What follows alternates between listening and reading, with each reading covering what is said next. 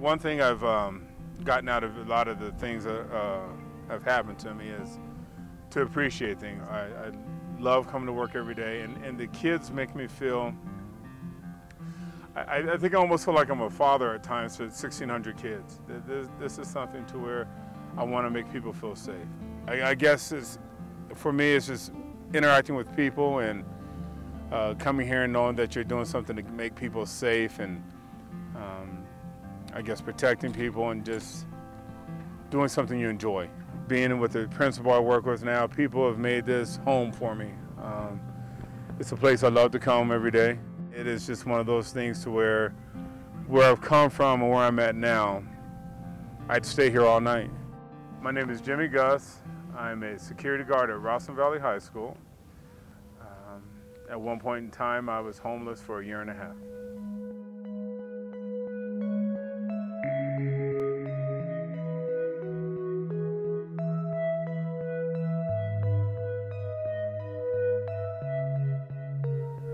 My dad was one of those old school people who said, if you don't want to do things my way, then get out.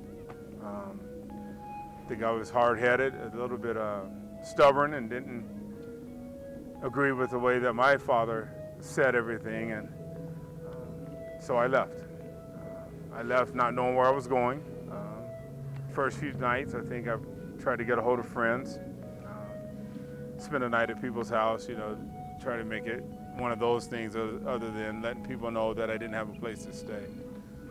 Um, start taking part in behavior and doing things that were um, wrong and things that um, I am ashamed of, but um, I did a lot of the things that I did back then trying to survive. Um, um, I ran with the particular gang for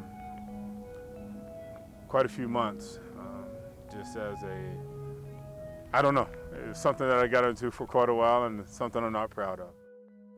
There were times when I was a young man, um, I remember getting stabbed. and I probably got stabbed in one place you probably should feel safe at, but it was in church. And it made it tough for me to know that you had a place to go.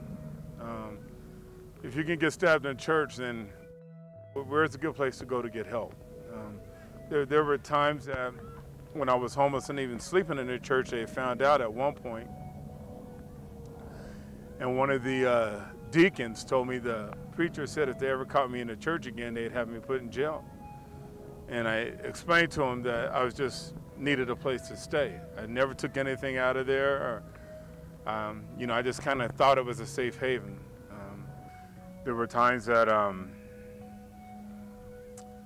I would break into vacant houses on depending the street. I just roamed the Park Hill, Five Points area, see houses that I thought had been vacant um, for a long enough period of time, I guess. And I um, find a window on the side of the house or back of the house, uh, break a corner of the window by the handle and um, break into the house and stay there. We are on uh, 26 in Quebec. This is the alley of um, the neighborhood where some vacant houses I used to stay in. And this house right here is actually the house that uh, we lived in. Um, some nights when I didn't have food, I would come back here. This, the, the whole yard is pretty much still the same. Um, I would wait for the kitchen light to be, uh, for my dad to cut it out. My sister would come out here, out like she's throwing trash out or put food back here by this gate here. And I'd be hiding right here. And um, some nights that's how I got my food. I did things that I knew weren't right, but I wasn't going to ask anybody for any help. Um, that was just a point in my life to where I knew that I had to figure out. Uh, there were people that were very influential, I think, in my life by listening to me and just being there that helped more than the people that were trying to, at times, take me in or, or try to provide for me.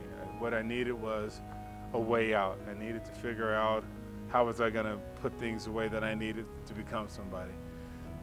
I, I had one person in my life, um, between him and his family, um, th there were things about him that, um, you know, I thank God for that because that, that, that person um, was a huge turning point in me, and he tried multiple times to help me out, and I and I rejected it, and it was, I, I don't know why, but whatever day that that day was, it was the day. It was the day that things had to go from one point to the other. I knew people cared. I knew that I could uh, do this, and we always have those things. I think when people ask you um, if you had to change something, what would it be? I think being homeless has been a big part of who I've uh, become because I've had to come so far to get to where I'm at.